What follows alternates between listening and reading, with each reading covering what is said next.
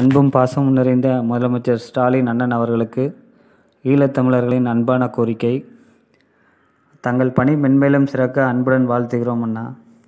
நாங்கள் இப்பொழுது பார்த்தீங்கன்னா திருச்சி மாவட்டத்தில் உள்ள மத்திய சிறை வளாகத்தில் உள்ள சிறப்பு முகாமிலிருந்து கதைக்கிறோம்.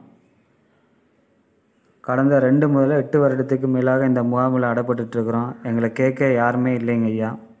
பார்த்தீங்கன்னா நாங்கள் செஞ்ச தப்புக்கு புழல் சிறையில் வந்து ரெண்டு மாதம் ரெண்டு மூணு மாதமாக வந்து அங்கேயே அடப்பட்டு கோர்ட்டால் எங்களுக்கு வந்து நிபந்தனை ஜாமீன் கொடுத்து ஷூரிட்டி அவங்களுக்கு என்னென்ன ஷூரிட்டி தேவையோ அதெல்லாம் கொடுத்து தான் நாங்கள் வெளியில் வந்தோம். பார்த்தீங்கன்னா புழல் சிறையிலேருந்து வெளியில் வந்த உடனேயே எங்களை வந்து கியூப்ரியனர் வந்து திருச்சி மாவட்டத்தில் உள்ள சிறப்பு முகாமில் இங்கே கொண்டு வந்து அடைச்சி விட்டாங்க.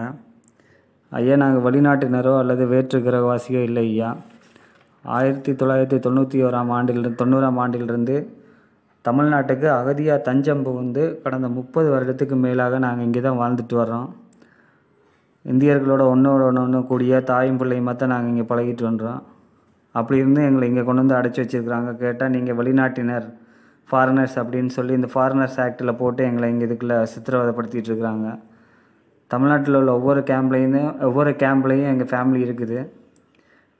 நாங்கள் இல்லாமல் எங்கள் ஃபேமிலி எல்லாத்துக்குமே இங்கே தான் குழந்த குட்டி எல்லாமே இங்கே தான் இருக்கிறாங்க. நாங்கள் இல்லாமல் எங்கள் குடும்பம் ரொம்ப கஷ்டப்படுது. வறுமையிலும் கடனாலும் அன்றாட சாப்பாட்டுக்கே வழி இல்லாமல் தப்பிச்சிட்டு இருக்கிறாங்க. இதுக்கு ஒரு முடிவே இல்லாமல் நாங்கள் இங்கே இருக்கிறோம் போன ஆட்சியில் கூட நாங்கள் எத்தனையோ முறை பெரிய மேலிடத்துக்கு தெரியப்படுத்தியும் அவங்களால எங்களுக்கு ஒரு தீர்வும் கிடைக்கல. அதனால் நாங்கள் சூசைட் பண்ணுற அளவுக்கு கூட நாங்கள் போயிருந்தோம். எங்களுக்கு அதனால் எங்களுக்கு எந்த ஒரு முடிவும் கிடைக்கல. கடைசியாக நீங்கள் எப்படா இந்த ஆட்சிக்கு வருவீங்க? எங்களுக்கு எப்படா ஒரு விடிவு காலம் பிறக்குமென்று உங்கள் மேலே எங்களுக்கு ஒரு நம்பிக்கை பிறந்தது. நாங்கள் எல்லாருமே நீங்கள் தான் வருவோம்னு கடவுள்கிட்ட வேண்டாத குறை இல்லை. அதனால் எங்களுக்கு நாங்கள் நினச்ச மாதிரியே நீங்கள் ஆட்சிக்கு வந்துட்டீங்க ஐயா. பார்த்தீங்கன்னா இந்த கொரோனா காலகட்டத்தில் கூட எங்களை எங்கள் குழந்தை குட்டிகளோடு சேர்ந்து வாழ வைக்குமாறு தாழ்மையிடம் கேட்டுக்கொள்கிறோம் ஐயா. இந்த சிறப்பு முகாமில் பார்த்தீங்கன்னா நூற்றி ரெண்டு பேர் இருக்கிறோம். அதுலேயும் பார்த்தீங்கன்னா அறுபது பேருக்கு வந்து இங்கே கொரோனா.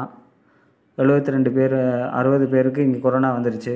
அவங்கள ஆஸ்பத்திரிக்கு போய் நாங்கள் சிகிச்சை பெற்றுட்டு வந்தாலும் இங்கே தனித்தனி ரூமில் எங்களால் இருக்க முடியலை.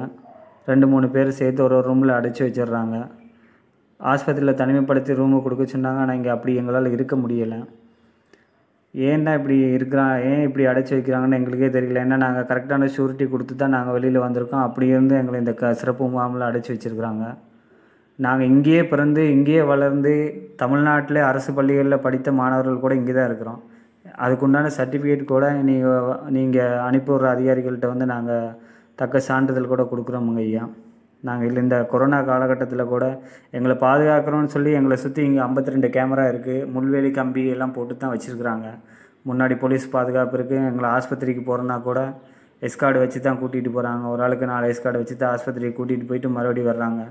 கேட்டால் நாங்கள் வெளியில் கோர்ட்டில் பார்த்தீங்கன்னா நாங்கள் வெளியில் இவங்க சுதந்திரமாக தான் இருக்கிறோம்னு சொல்கிறாங்க ஆனால் எங்களுக்கு சுதந்திரமே இந்த ஒரு ஃபோன் மட்டும்தான்.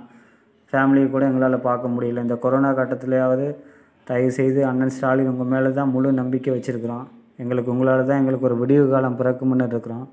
உங்கள் மூலியமாக வர அதிகாரிகளுக்கு இங்கேருந்து வெளியில் போகிறதுக்கு என்னென்ன ஷூரிட்டி வேணுமோ அதுக்குண்டான ஷூரிட்டியெல்லாம் நாங்கள் கொடுக்கறதுக்கு ரெடியாக இருக்கிறோம்.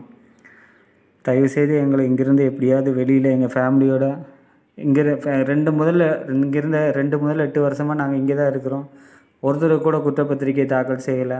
குற்றப்பத்திரிக்கை தாக்கல் செய்யாமல் கூட இங்கே தான் வச்சுருக்குறாங்க. அப்படி தாக்கல் செஞ்சால் கூட நாங்கள் கோர்ட்டில் போய் நாங்கள் எங்கள் கேஸை நாங்கள் ஜெயிச்சுக்குவோம். நாங்கள் தப்பு பண்ணலைன்றதை நாங்கள் நிரூபிச்சுக்குவோம்.